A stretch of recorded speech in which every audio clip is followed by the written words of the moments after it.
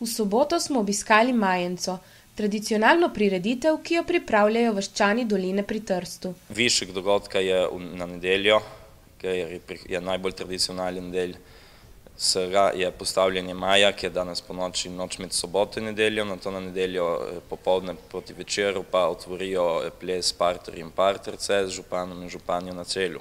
Obiskovalci si lahko ogledajo nekaj razstav domačih umetnikov, občudujejo nastope glasbenikov, doživijo živahen utrip vasi in sodelujejo pri slovesnem postavljanju maja.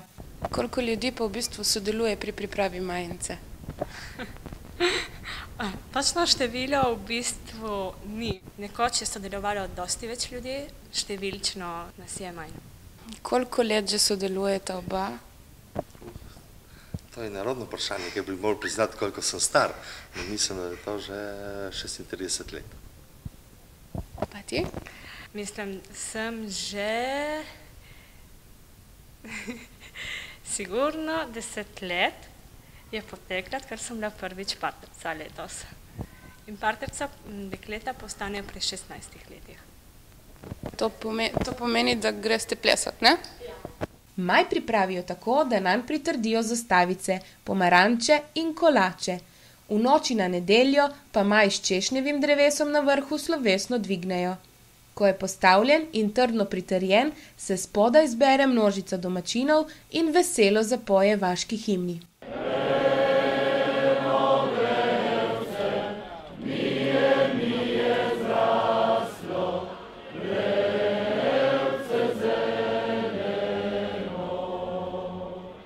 Celi vasi se dogaja ogromno dogodkov. kateri je vama najbolj všeč? Vsi so nam všeč, vsi spadajo v tradicionalni program. Recimo, da mi kot člani in odborniki Slovenskega kulturnega društva Valentin Vodnik smo tudi posebno navezani na štiri razstave, ki jih vsako leto prirejamo istočasno z Majenco. Kar je še dokaj velik podvig za tako majhno društvo, majhno vas, štiri razstave naenkrat, to ni kar tako. Pod majem se te dni dogaja pester program, ki obiskovalce vabi, da se vedno znova vračajo.